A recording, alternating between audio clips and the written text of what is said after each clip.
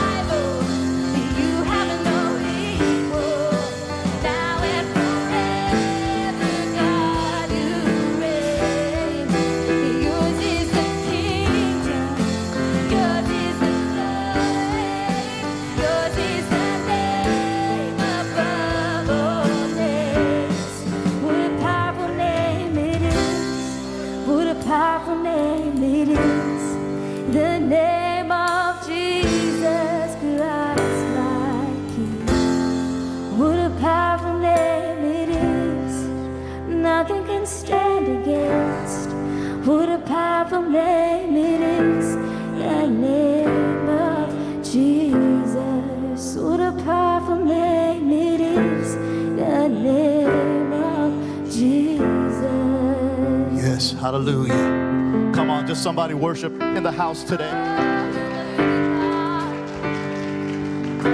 We bless your mighty name, Lord God.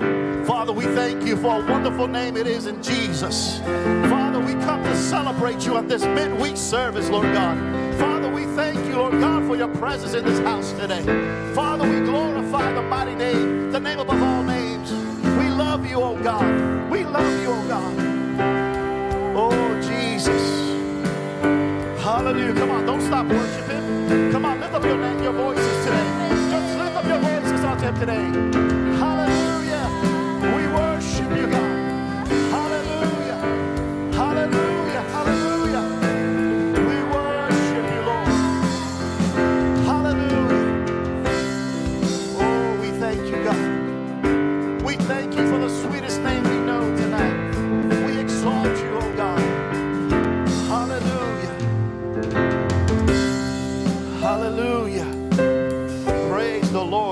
I don't know about you, but it feels so good to be in the house on a Wednesday night.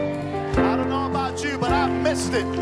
I've missed it. Hallelujah. It is so good to see each one of you on a Wednesday, this first Wednesday as we relaunch an in person gathering. So it is so good, and I thank you for being here this Wednesday. Amen. I want you to shout to one side to the other and just say hello. Amen. Praise the Lord. It is so good to see you guys. You may be seated. Hallelujah. Praise the Lord. Young people, you can head downstairs. Praise the Lord. Well, you sounded pretty good. It sounded like you missed Wednesday night's church just as much as I did. Praise the Lord. You know what? I enjoy doing the online kind of thing, but I tell you what, it got old real quick because I wanted to be with people. I wanted to be with people where I could see them receiving the word. Amen. I couldn't see what you were doing. You may have been cooking at the house on a Wednesday night while watching, you know, online. It's not the same thing. Amen. Praise the Lord. Just a few announcements this evening. Uh, we want to remind you, as always, you give your offering in the offering box in the, in the lobby or text your offering or give online at victoryjasper.com. As well, if you're a guest here, text welcome to the number on the screen, 77411. Also, want to remind all the men this evening and those that are watching, this Saturday at 8 o'clock is our men's breakfast. And we want to invite you. We have a special guest, uh, the Tennessee men's director, Jack Harper. He's also the husband of Sheila Harper, and they co founded together SaveOne. And we want to encourage you to be here this weekend on Sunday morning. Jack Harper is going to be preaching on Father's Day this Sunday. If you have forgotten that this Sunday is Father's Day, is a reminder. Uh, so he'll be preaching both services at 9 and 11 o'clock. So we want to encourage you to be here this coming Sunday. Amen. Praise the Lord. Well, tonight and the next few weeks, we're going to be talking about the end. You know, and you could probably say this is the beginning of the end, if you will. Uh, the beginning of the sermon, the end. That's what I'm trying to say. and uh, what has been transpiring across our nation, around the world for the last few months, many have asked, is this the end times? Eh, uh, Are we close to the rapture? Are we coming to life as we know it? But let me remind you this evening that no one knows the hour or the day of the Lord's return.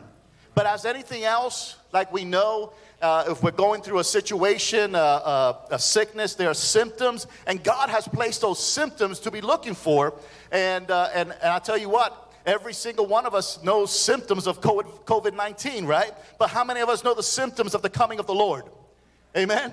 You know, I think we need to be more concerned about the coming of the Lord than anything else. Okay? So, so these next few weeks, we're going to be talking about what a lot of people are talking about.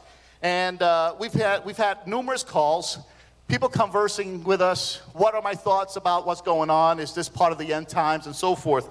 Um, but I want to talk about what the scripture says. Not what I think is what the word of God says. Okay? There's a lot of theories, there's a lot of uh, uh, different concepts of what is happening, but I want you to decide for yourself out of your Bible what we're in this evening and throughout these next few weeks. So I want to encourage you, open your Bibles to Matthew chapter 24 and 1 Thessalonians chapter 4. I want to encourage you to write a lot of notes. There's a lot of scripture when it comes to uh, the end times. There's a lot of scripture, a lot of things that God has to say about it. And uh, so write down some scripture, go home and digest it and uh, just see what the Lord speaks to you, okay? So I want to be upfront and say that some of the things that we have experienced, some of the things that we read in the Bible can be unbelievable. It seems like, how in the world can that happen? Okay? But can I just say, those things that has come to pass, it only has come to pass because of God. So I want you to understand that, that, that point. So here in Matthew chapter 24, Let's look at verse 4. Matthew 24, beginning of verse 4. In that verse, it says, Jesus answered. Okay, because the disciples were kind of ha- having these inquiring mind moments. And many of us have had those moments, those inquiring minds, like many of us do. Are we in the end times? Are we in the last days? So Jesus answered, Watch out that no one deceives you. Let's just stop there. We're going to break this down, and I don't know how long this is going to take. We may have to make two parts out of this first part. But it says, No one deceives you. Let no one deceives you. There are many people that are deceiving. Look around you today. There's a lot of things that are going on that we don't know if it's true We've never heard the terminology fake news to the last few years. There's a lot of things going on, and it's up to you and allow the Holy Spirit to bring discernment on what's right and what's wrong. And you have to allow the Holy Spirit to bring direction to the word where you get your answers, okay? So I said, Don't let no one deceive you. Verse 5 For many will come in my name, claiming I am the Christ, and will deceive many. You will hear of wars and rumors of wars, but see to it that you are not alarmed. Such things must happen, but the end is still to come. Let's pause there for a moment. For many will come in my name. Personally, I think the Antichrist is alive and well and on the earth right now. I believe his head we haven't identified, but I believe he's alive and well. Okay? Now it says that you will hear of wars and rumors of wars.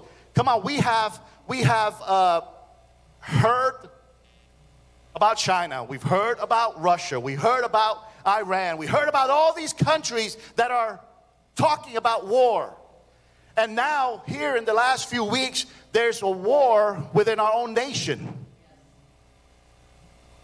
Someone is saying this, someone is saying that, and, and all this is causing conflict among our own people. And sadly enough, there's conflict even among church people. Okay? And we need to understand that, that the enemy has unleashed a demonic force that has blinded the minds of men and women. They have, I mean, it is ugly. If you've been hiding under a rock, Get out of that rock because it is ugly out there. It is ugly. And the demonic forces are up and, and moving around. And it says in verse, fi- in verse 6 such things must happen, but the end is still to come. So somebody asks, How do we pray? My prayer is, Lord, your will be done. If this has to take place, who am I to say, Stop it, God? All this has to take place. So, yeah, we pray, God, help us. God, sustain us. God, give us a strength. But, Lord, your will be done. Lord, your will be done. Nation will rise against nation and kingdom against kingdom. There will be famines and earthquakes in various places. All these are the beginning of birth pains. Verse 9 Then you will be handed over to be persecuted and put to death, and you will be hated by all nations because of me. At that time, many will turn away from the faith and will betray and hate each other. Hello? I mean, the hatred is all over the place. Hatred over law enforcement, hatred over the color, hatred. Kim and I were watching a video on social media of a man beating up a woman. And the person that's videoing is not, in, not getting involved. That's crazy. That's hatred. You know, and, and, and, and it says that we will be persecuted. If you think you're persecuted, then you don't know what persecution is. You know, in China, where they're closing down churches and they're, they're burning Bibles and all this stuff, that's persecution. Will that come to, to the USA? I don't know. I didn't dream what's going on here the last few weeks. Who's to tell that would happen? I don't know. But here it says, hate one another, and many false prophets will appear and deceive many because of the increase of wickedness. I mean, it looks like these last three months when we went full speed ahead, the throttle was moved up, and worse, I mean, things in our nation around the world is moving in fast speed, in fast mode. The lawlessness, what was once a crime, people are just being let loose. Everything is backwards. Everything is off track because of increase of wickedness. Look at this part. The love of most will grow cold. The love of most will grow cold. The ones we had love for law enforcement, now there's a big target on law enforcement. The love of most. But here I think Jesus was talking about the love for him.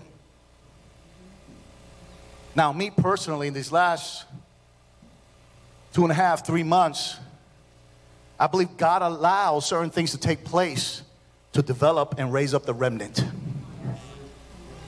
Developing the remnant. Because I'll be honest with you, there's some here from the victory family that probably have not seen church online in about three months. Oh, we know who comes on and who doesn't. We see whose name comes up and who doesn't. We see their postings. We see their languages. The love of most will grow cold. Verse 13, but he who stands firm to the end will be saved. And this gospel of the kingdom will be preached in the whole world as a testimony to all nations, and then the end will come. Now, jump down to verse 36. No one knows about the day or the hour, not even the angels in heaven, nor the Son, but only the Father. As it was in the days of Noah, so will be the coming of the Son of Man. For in the days before the flood, people were eating, drinking, marrying, giving in a marriage, up to the day Noah entered the ark and they knew nothing about what would happen until the flood came and took them all away. That is how it will be at the coming of the Son of Man.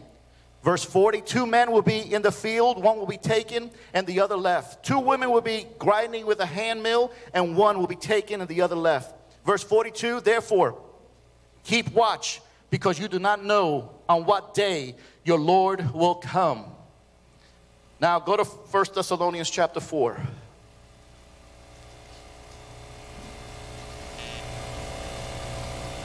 Because here, I'm trying to lay a foundation this evening and for these next few weeks So here tonight, I'm just going to give you a little, a little taste so you guys can keep coming back on Wednesday nights. Okay? So I want to be upfront with you. The Bible has a lot of prophecies. Amen? The events that we're witnessing today, we may call them weird, we may call them unusual, we may have a different name for them. Just like the Old Testament prophecies that prophesied that Jesus will come and be born of a virgin. Now, at that time, that was like ridiculous. Are you serious? That's, that, that's the prophecy that the Son of Man will be born from a virgin? That was prophetic. And all these prophecies, whether you believe Jesus is Lord or not, you kind of have to admit today that He did come, and there may be a lot of skeptics who look at these prophecies and say, man, these are weird, these are crazy. There's no way that these could have been fulfilled if there wasn't a God. And there are a lot of skeptics who have been transformed by the unusual, the oddities, the strangest things But one thing we need to understand, and what's crazy, is that literally there are five times as many prophecies about the second coming of the Lord than there were for the first time. Five times more. And we're going to look at those in the first in the first few weeks here. Now, you may find, like I said earlier, a lot of interpretations that some people will believe some things and others will believe other things. And I'm going to just give you what the Bible says. And next week, we're going to look what happens after the, after the return of our Lord Jesus Christ. Okay? And there, there, there's some Christians from all different sides of the spectrum. And I'm not here to debate you. I'm not here to have an argument about it. I'm here to tell you what the Bible says. And if you have a difficulty of digesting and swallowing what is being said, then just take it up with God and just read what the Word of God says, okay? Don't, don't come and, and bash me and, and all this stuff. Don't, don't schedule an appointment say, I disagree with you. I'm just going to be preaching the Word of God, okay? And most of you know that I, I, I preach the, what the Word, okay? So so next week we're going to look what, what heaven's like and all that stuff and how we're judged versus those who are not Christians. We're going to look at heaven and what eternity, eternity will be like.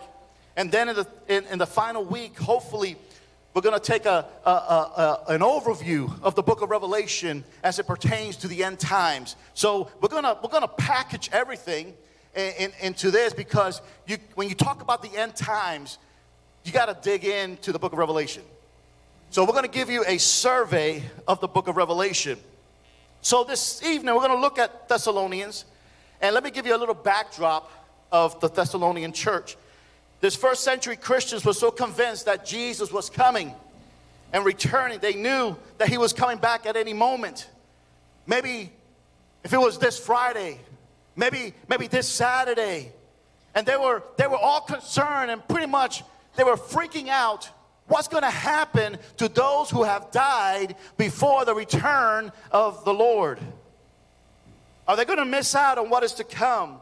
And so Paul was writing in 1 Thessalonians chapter 4 to explain what's going to happen. So let's look at verse 13 in 1 Thessalonians chapter 4.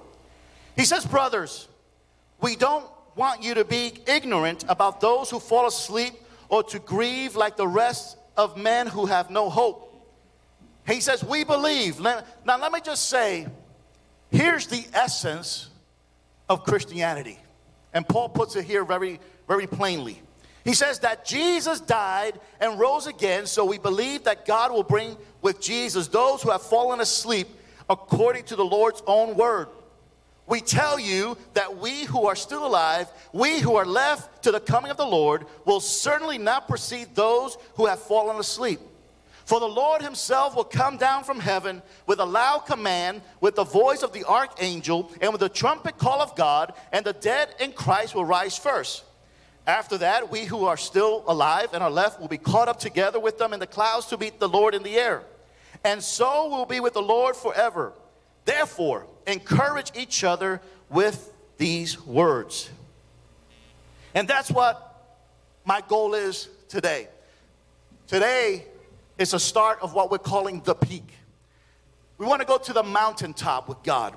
And wherever your journey is with the Lord, we want to spiritually take you by the hand and take you higher to the peak. And by the knowledge that we have and that we're learning from the scriptures, hopefully it would draw us closer to the peak with Jesus. Amen. To eventually, when the Lord's return come, we hear the trumpet sound and we are being lifted up to be with the Lord. Amen. So I want to encourage you with three reasons we as Christians have hope. And the first reason, if you're taking notes, is this Christ is coming again. Jesus is coming again. If that's the first time you're hearing it, let me remind you Jesus is coming again.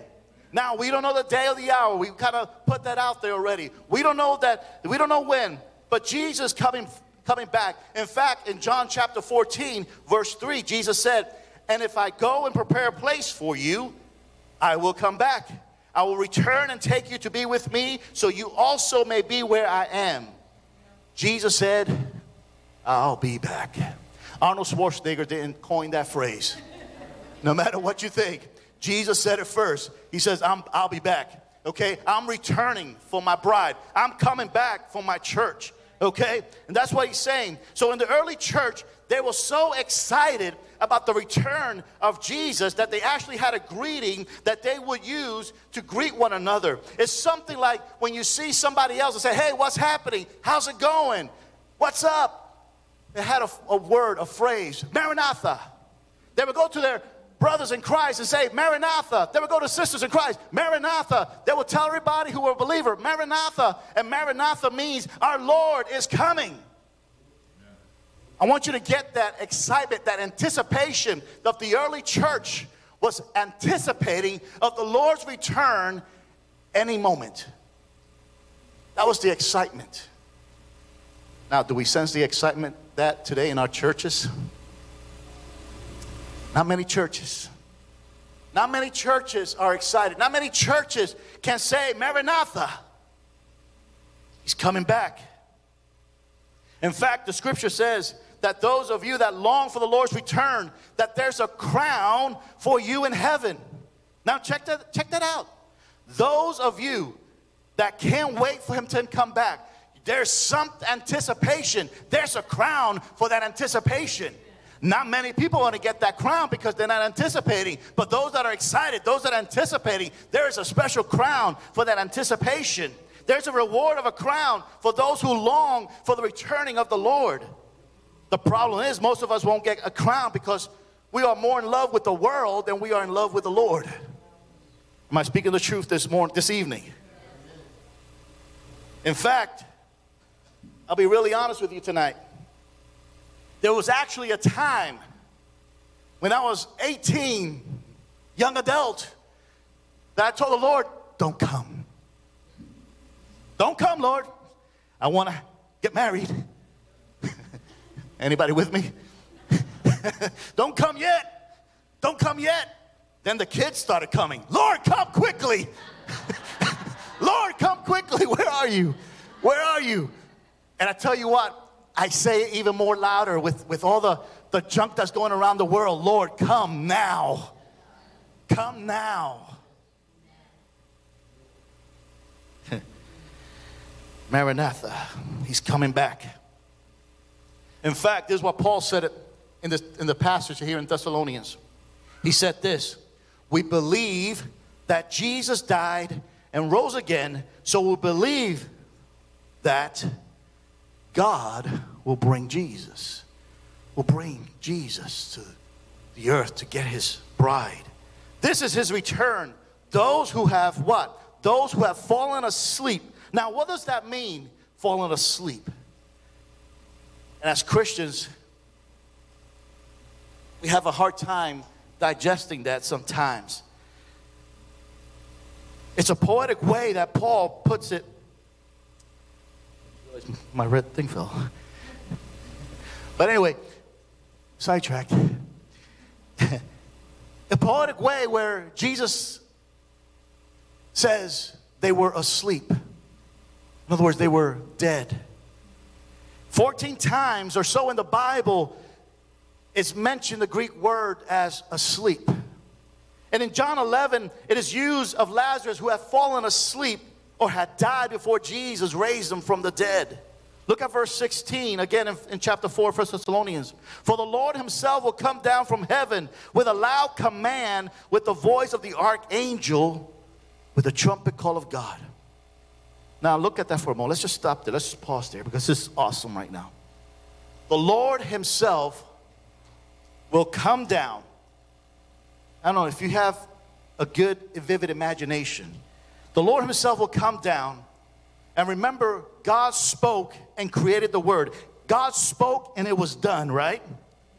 And there were times when God would whisper, and this time, when Jesus returned, what's going to happen. There's going to be a loud command, and the voice of the archangel Michael is going to give a shout, and the trumpet will sound, give a loud blare. Why? Because the greatest victory in the history of the world demands the greatest shout from the Lord. Saying, Church, here I come. Church, here I come. Hey, bride, here I come. And then the trumpet will sound. The trumpet of God sounds, the archangel cries, the Lord shouts, and what happens? The Bible says in verse 16, the dead in Christ will rise first. The dead in Christ will rise first. Who are the dead in Christ? Well, remember what Paul was talking to the Thessalonian believers. And he said, You know what, guys? Your loved ones who were Christians and died they're going to rise up first. They're going to rise up first. In other words, you know, to be absent of the body is to be in the presence of the Lord, right? We've heard that. So here, the body will have a new body and unites with the soul. Think about that. Now, that's something in our heads maybe we cannot wrap around. Just like the Old Testament people were saying, yeah, the Son of Man is going to be born from a virgin. That's the same mentality we may be having this evening, but it's going to happen. It's going to happen. All right? Now, I don't want you to get confused here because it could be easily confused. So I'm going to go really slow on this, okay? It appears to be very clear that there's two resurrections. The first resurrection is for those who are Christians who have died and they're being raised. That's the first resurrection.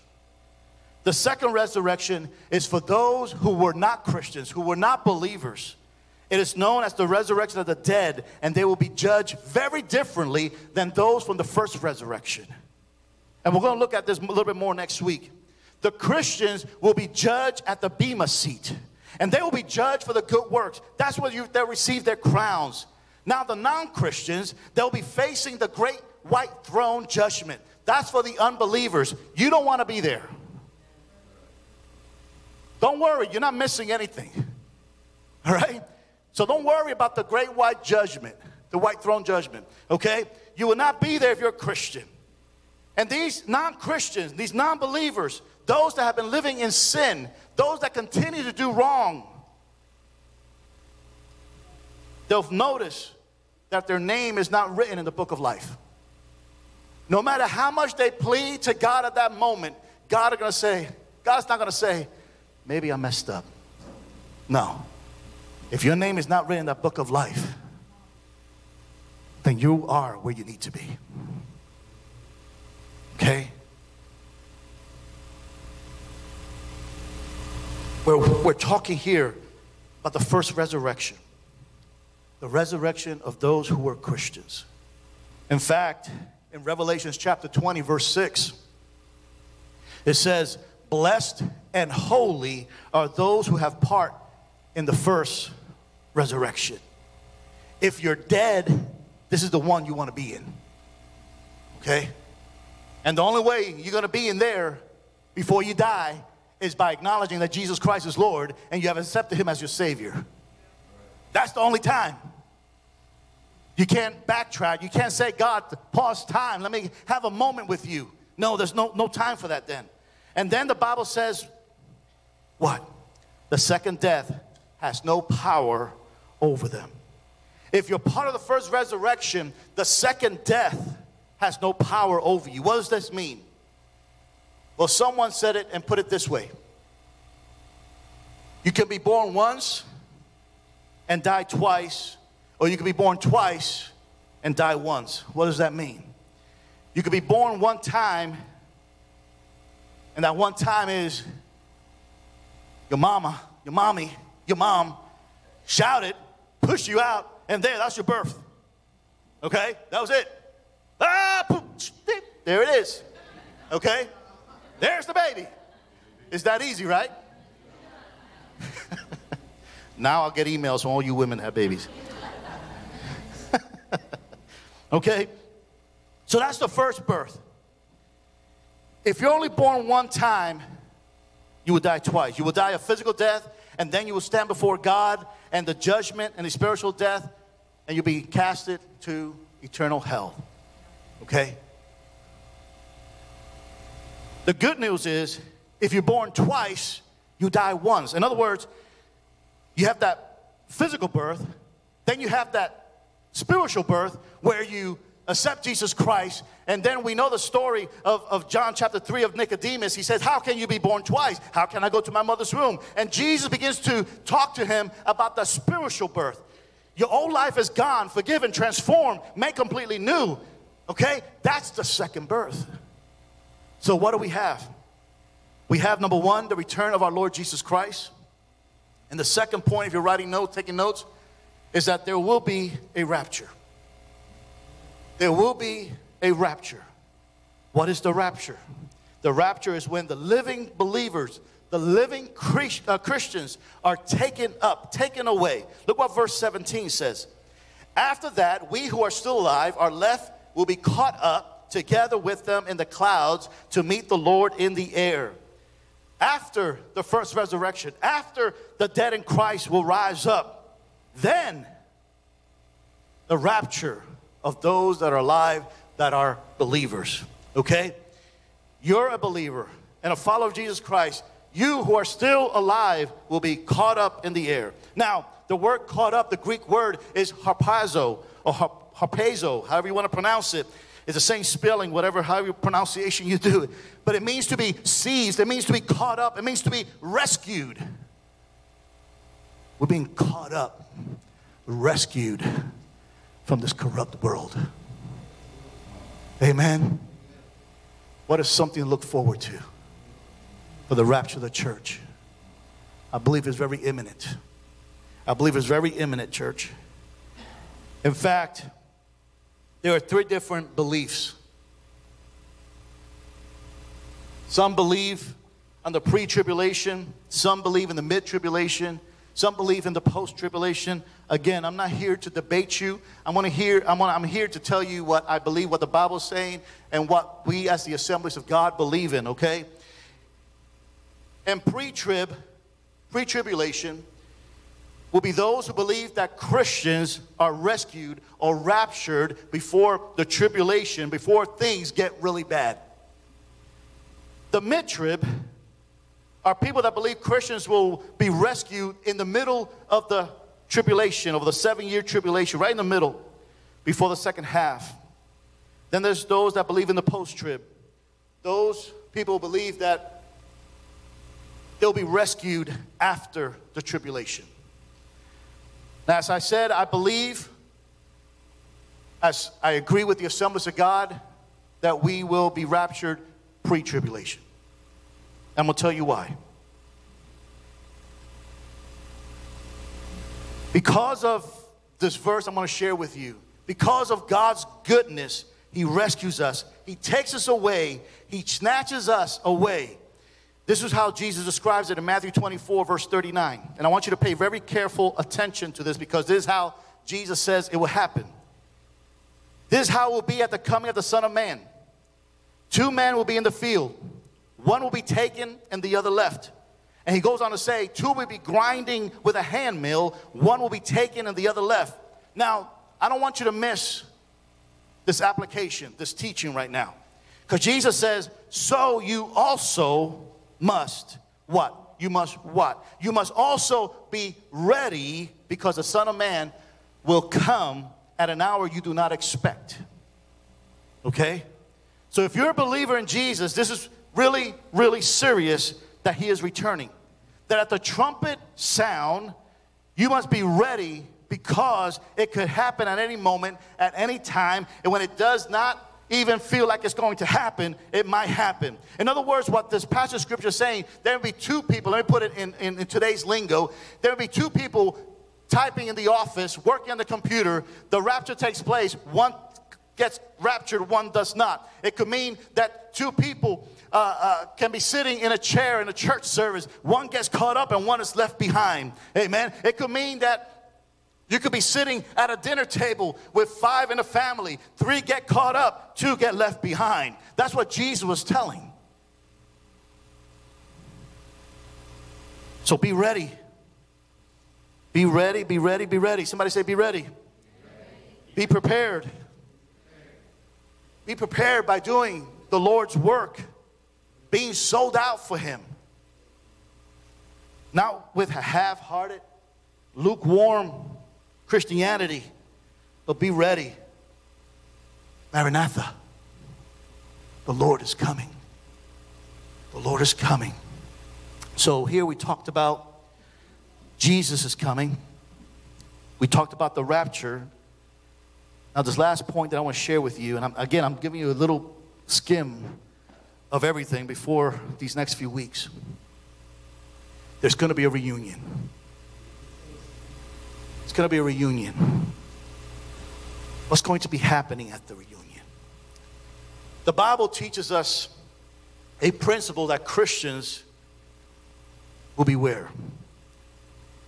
It says we'll be with God forever. Isn't that what the Bible says?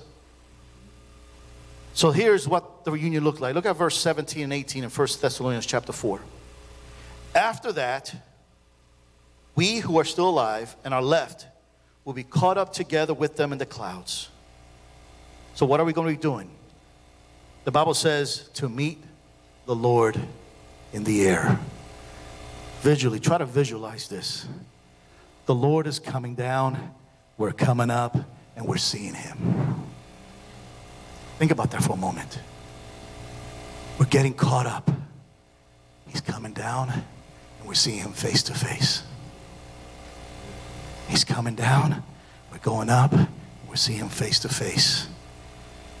I don't know about you, but that's exciting to me. And we meet face to face the Lord who gave us this life. And then it goes on to say, and so will we, so we will be with the Lord forever. Let me hold on to this area. Let me just dig a little deeper. I wanted to sink in. When this happened, when this happens, you'll be with the Lord how long? Forever. Okay, I want you to think about that. Forever. We talk about, we'll talk about more of this next week. But I want you to talk, I want you to think about what this really means. When we're, when we're with the Lord forever, there's no more pain, no more sin, no more heartache no more ugly news. No more brokenness. No more disease. No more sickness. No more poverty. No more starving children. No more loneliness. No more sickness. No more cancer. We're talking about being with the Lord forever. And if there's any sort of tear that may fall from your, from your eye unto your cheek, the Lord with his finger will wipe it away. Mm. I don't know about you, I just got some goosebumps. He would take his finger, just wipe that tear away. I don't know, that's exciting. So, what should we do? If we're living in the end times, what should we do right now? I'll tell you what we should do. We should build bunkers, we should dig down, we should store up, we should hoard everything we need to, right? No. No. I tell you what we need to do in verse 18 tells us what we need to do. We should encourage each other with these words. He's coming back. He's coming back. Let me back up just a few statements that I said earlier about the tribulation. You think we had, and you would think you were concerned about the toilet paper and the hand sanitizer, all that Walmart being empty. I tell you what, during the tribulation will be much worse. And I think the Lord has given us a glimpse of what could be for the unbelievers. What could be for those who do not know Jesus Christ, and what chaos is going to be after the church is caught up. That's why Paul is telling us we need to encourage one another because I don't want my family to deal with that. I don't want my lost relatives and my friends to go through that. I want them to be with me caught up in the air. I want them to be part of that reunion. I want them to celebrate. I want them to get excited. I don't want them to worry about it. And I believe the Lord just gave us a glimpse of the chaos that could be after the church. Think about this for a moment. When the rapture of the church takes place, the Christian pilot will be gone. There might be a Christian co pilot, nobody flying that plane.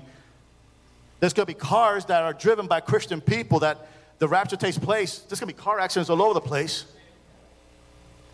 and they're going to be calling for police officers. Those Christian police officers, they're nowhere to be found because they're caught up. They're going to be calling firefighters, and those Christian firefighters, they're going to be caught up. Who's going to drive the fire truck? Who's going to pull the hose? There'll be chaos when the rapture takes place. And you think it's bad now, it's going to get worse after the church is raptured. So we should live with an urgency there's got to be an urgency in our spirit that will long to be with the Lord forever. So what's should we what should we take away this evening?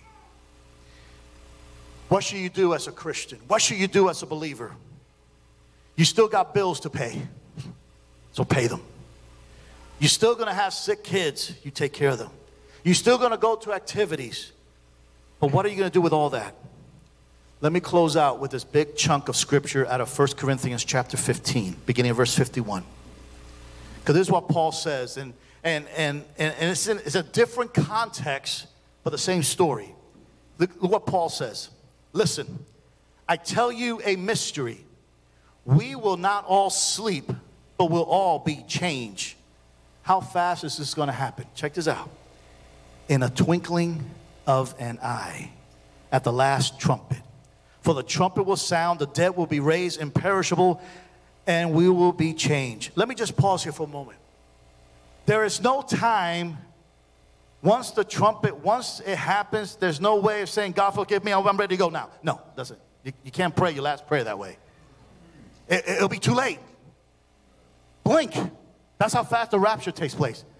You could blink right now, the microphone will, will drop, and I'll be gone. And some of you that be left behind goes, where did Pastor go, Joel go? What a neat trick. No, that was the rapture. Because I say that because not everybody that walks into the church will be saved. What, Pastor? Bible's very clear. Not everyone that calls me Lord shall be saved. Why does he say that? Because it's the condition of the heart. You can look good coming to church, doesn't mean you're going to go out. You know what I'm saying?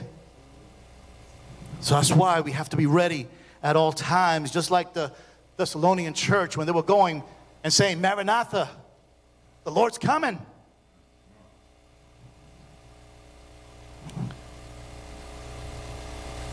Where did I leave off? In verse 53 For the perishable must clothe itself with the imperishable and the mortal with immor- immortality. In other words, when he returns, when Jesus returns, our physical bodies are going to be transformed into eternal bodies. And we are no longer to be mortal, but we will live for him forever. And look, he goes on to say in verse 54 the saying that is written will come true death has been swallowed up in, in victory. Where, O death, is your victory? Where, O death, is your sting? Here's the kicker in verse 57. But thanks be to God. He gives us what? The victory. The victory. Not through our religious efforts, not because you may have a perfect attendance at church, not because you know that many scripture in the Bible, not because you do all these good things, not just because we're doing we're stopping bad things. But he gives us the victory through our Lord Jesus Christ.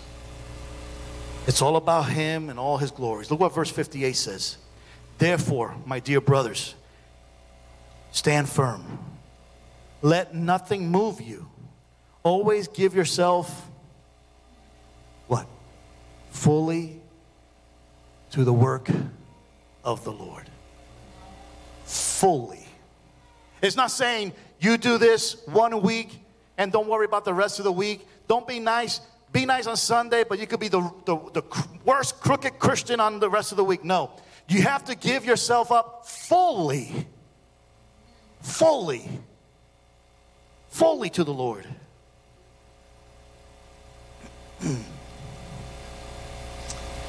Serve Him, praise Him, worship Him, give in His name, share His love, live with intensity. So, as we see the day approaching, as we see that the end times is taking place, as we see that we are in the last few hours, then we need to do everything we can to represent Jesus Christ in everything we do, in everything we say. God has not called you to be a part time believer. Being a Christian is a full time job. You can't wake up one morning and say, you know what, God, I'm going to call in sick today. I don't want to be a Christian today. I'll pick it up tomorrow. What would happen if the rapture takes place at that moment? What would happen? God, I don't want to serve you today. What? God, I don't, I don't want to lead this ministry. God, I don't want to, I don't want to do this for you. God, I don't want to do this. I don't want to do that. What? That's not what I created you to be. I created you to worship me. I created you to serve me.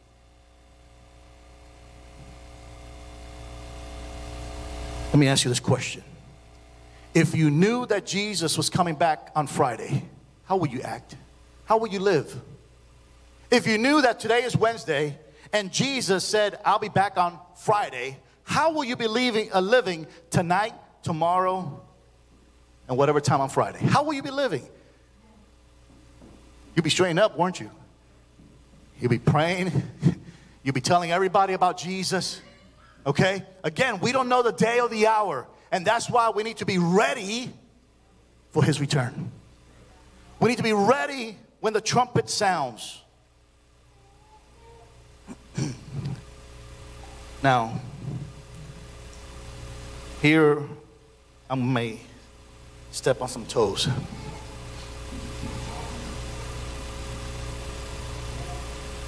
Okay, you ready? You come and play the guitar there. Listen carefully. We have a bunch of lukewarm Christians. We have a bunch of lukewarm believers. And what does the Lord say about that? Let, He's going to vomit you out.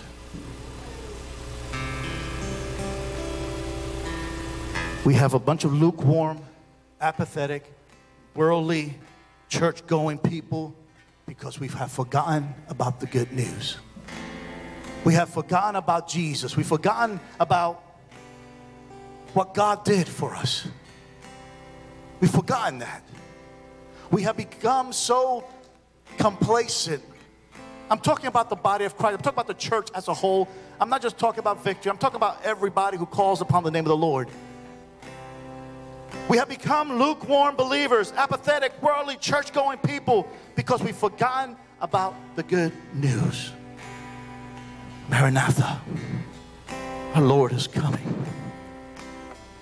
Therefore, we shall work for the Lord because you know that your labor for the Lord is what? Verse 58 is not in vain.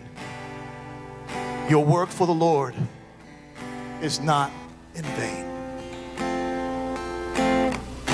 You can live a life that won't count in eternity, or you can live a life for the Lord today that will bring Him glory. For me, it's not a, a no brainer. I want to live for the Lord that will bring him glory. And I think deep down, every single one of us has a desire to do that. But deep down, we have been so caught up with the world that we miss it. We miss it.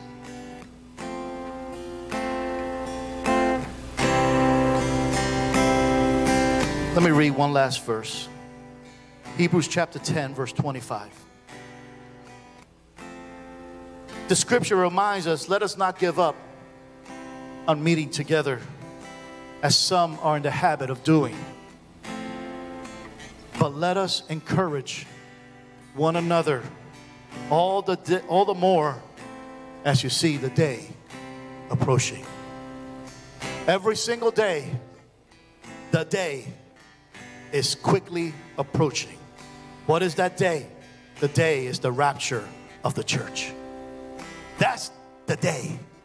That's the day. It's the rapture of the church.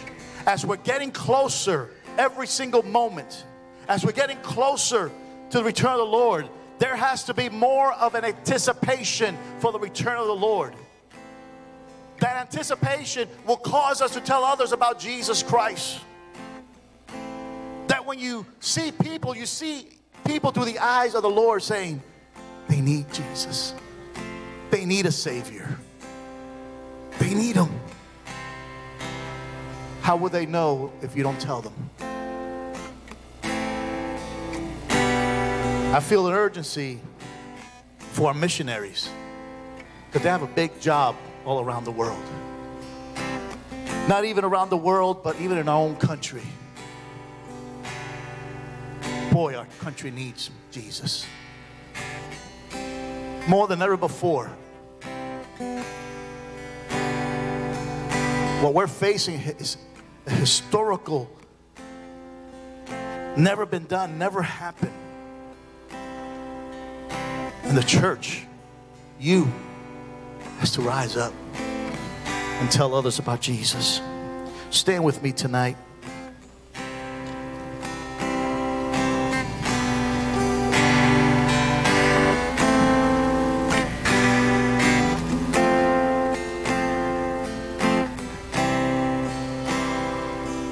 I just want you to close your eyes for just a moment. I want you just to look at your life right now. It'll be wrong of me to say, Thanks for coming, let's pray, and send you home. When you may be standing here and you may not be ready for the rapture. It's so exciting to see men and women that they know that they know that they're ready to be, the Lord, be with the Lord. These last couple weeks, I've been in two funerals of two Christian men that were so ready to be with the Lord. Talked to Marvin many times. He says, I'm ready, Pastor, I'm ready. I went to Judy Douglas' father's funeral, and all they said is he was ready. He was very vocal about his beliefs. He was very vocal about the return of the Lord. Those signs that you see on 56 going towards French Lick, he put those up. He's very vocal on his faith. There's some here in this room, we're not even telling our own family members about Jesus.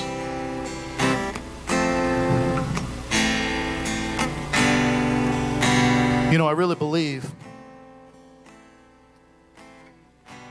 I really believe that there are some people are not excited about the coming of the Lord because they're so caught up with the worldly things. We're caught up with the worldly possession. We're caught up with the daily, day-to-day things. We're caught up. Those things don't matter. Those things won't get you get you to heaven. Those things you can't take to heaven. We need to understand our relationship with the Lord is so important. So every head bowed, every eyes closed. Just examine yourself this evening. Just look deep down in your heart tonight. I'm not going to ask you to raise your hand. I'm not going to ask you to come forward. I want you just to make this very personal with, with the Lord. Just make it very personal with the Lord and say, Lord, I thought I was ready. But if you come right now, I don't think I'll be going up. I will not be part of that rapture. Your word says that one will be working, two will be working, one will be taken up, and one will be left behind. And you might be here tonight and you may say, Man, I'll be the one being left behind. Can you imagine your children going to heaven, you're not? Or your spouse gets caught up in the rapture and you're not?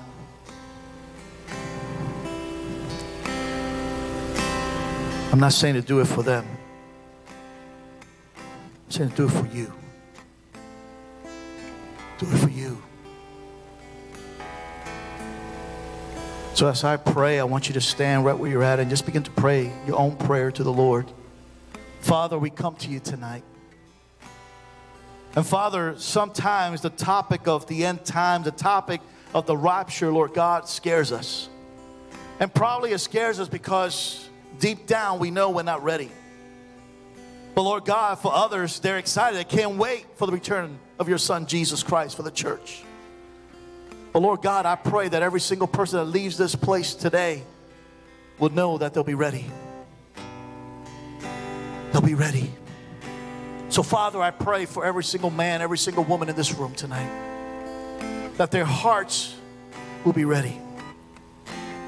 And right where you're standing, if you need to say, Lord Jesus, forgive me. I confess my sins to you and I just re invite you into my life again. Help me to live for you. Help me to tell others about you, God. Help me to be your son, your daughter.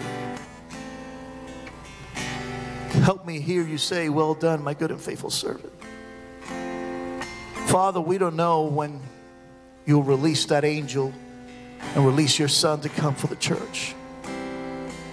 Lord, your word says very clearly we don't know the day or the hour but we need to be ready. So, Father, we are getting ready right now. We're getting ready right now, God. Move in every single person here today, Lord. We open our hearts to you tonight. We ask for forgiveness. We invite your son Jesus to come into our lives. And Father, help us to encourage one another as we see the day approaching. In Jesus' name we pray. Now, before we leave here tonight, I want to encourage you by saying one statement. If every single one of us made it right with God tonight, and if the rapture takes place at this moment, I pray we all go. But as, long, as long as the Lord tarries, you have to represent who Jesus is in you. Don't stir up trouble in the social media. Don't cuss up a storm on social media. Don't get ugly with your neighbor or your family. Be Christ like. Be a representation of someone that says, you know what? I want what you have. I want what you have. They want the love of Jesus Christ in their life. But if you're being a hypocrite, we use that word a lot in the church lingo, hypocrite, and you are one or you become one, nobody wants to be with Jesus like you. You'll become a big turn off and a big turn on. I want to turn on people to Jesus, not turn people off from Jesus. Amen. I'm saying that with the bottom of my heart, with all the love. Because I want you to be a good representation. We as a church, we want to be a good representation for who Jesus is in our lives. Amen. Well, God bless you guys. Thank you for being here in the relaunch of our Wednesday night service. I want to remind you this is the last Sunday that you have to register. Okay? So please do that. Go to our church website, go to our church app, and just click a service you want to attend, 9 or 11 o'clock. And then the July 28th, you attend it, whatever service. You don't have to check in. And uh, um, looking forward to that. Amen. Well, God bless you, Maranatha, okay? The Lord is coming, all right? God bless you. Have an awesome rest of the week. Men, don't forget about men's breakfast this Saturday at 8 o'clock.